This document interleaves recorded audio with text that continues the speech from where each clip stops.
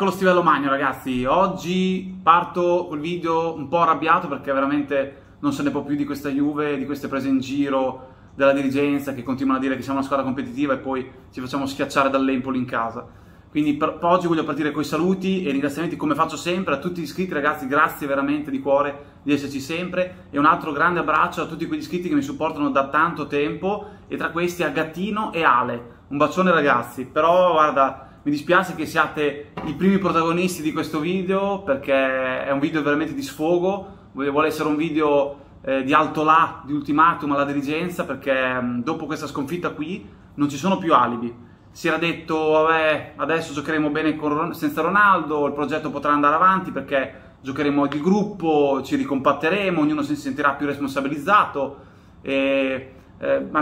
togliamo tutti gli alibi degli errori precedenti di Paratici,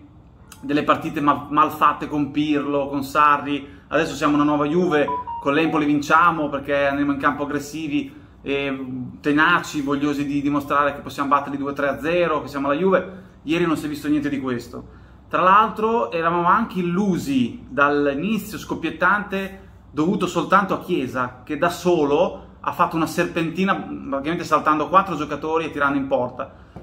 con un Vicario che ha fatto un miracolo, così come anche nel secondo tiro con Vicario sul suo palo, ma comunque una grande parata di reazione. Quindi ecco, questo è un po' il quadro de, di come poi è andata la partita. Cioè l'Empoli ha preso le misure alla Juve in un batter d'occhio, ha capito che stava rischiando di prendere gol,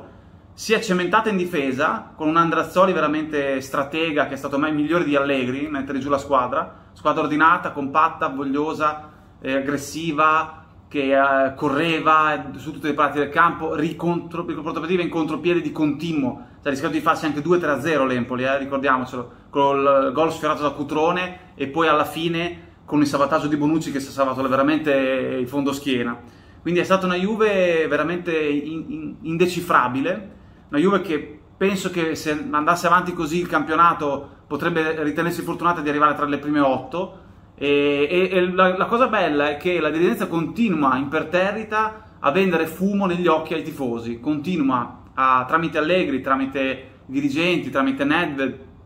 e Agnelli a predicare eh, che la Juve è forte, che la Juve è competitiva, la rosa assolutamente a livello dell'Inter, delle altre compagini appunto che si stanno giocando con noi l'Europa, eh, il girone è abbordabile, siamo contenti, chiaramente sarà da faticare in Russia, tutte queste cavolate per poi non prendere niente, nessuno nel, mercato. Questo è l'obiettivo, non spendere, cioè tenere le braccine corte, pensando tanto, noi abbiamo lo stemma Juve, no? Siamo all'Allianz Stadium, facciamo paura, invece non ha paura nessuno, cioè neanche l'Empoli che viene in trasferta, noi abbiamo 20.000 persone all'Allianz Stadium, di cui forse 18.000 erano nostri, l'Empoli c'era qualche vecchietto con la, col foulard e le bandiere, ci ha messo paura anche quello, probabilmente perché siamo talmente alla frutta, che anche forse uno spiffero, un urletto di un tifoso dell'Empoli ormai ci, ci sballotta. Guardando le facce che avevamo in campo ieri sera e i giocatori fuori ruolo scandalosi messi da Allegri, ti fa capire veramente che siamo in un quadro sconcertante, un incubo che continua ad andare avanti, non riusciamo a svegliarci da questo incubo.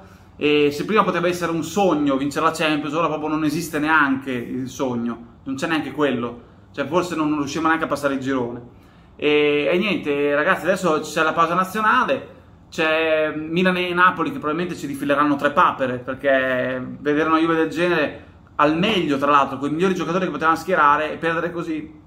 fa capire che non c'è molto da, da, da essere contenti. Torno all'analisi della partita. Allora, dico questo: eh, Scesni fondamentalmente non ha procurato nessun danno, ma se tu vai a vedere gli interventi che ha provato, li ha sbagliati tutti, cioè ha, messo due palle in calcio d'angolo che gridano ancora vendetta, quelle palle che ha alzato come se fosse la, la, la Madonna di Lourdes che, che, guardava al cielo, e quelli sono errori che già un, un preparatore dei portieri te li segnala, cioè, ti, ti, fa notare a fine partita, guarda Scesni, questi due interventi qui, ok non hai preso gol ma non sono da portiere di Serie A, due smanacciate in angolo con tiri da a due all'ora, tra l'altro un, un passaggio di chiesa involontario in alleggerimento che tu devi bloccarlo, cioè anche se la palla è sopra la traversa, tu la devi bloccare quella palla lì. E poi vabbè, sul gol non è colpa sua, l'errore della difesa, l'errore di eh, Alexandro mal piazzato, Danilo mal piazzato, insomma Bonucci non c'entra niente lì perché non l'ha toccata, però la palla è andata a Mancuso, eh, Mancosu e Scesni è uscito come se fosse uno spaventapasseri senza neanche provare a prenderla, cioè ha messo veramente il corpo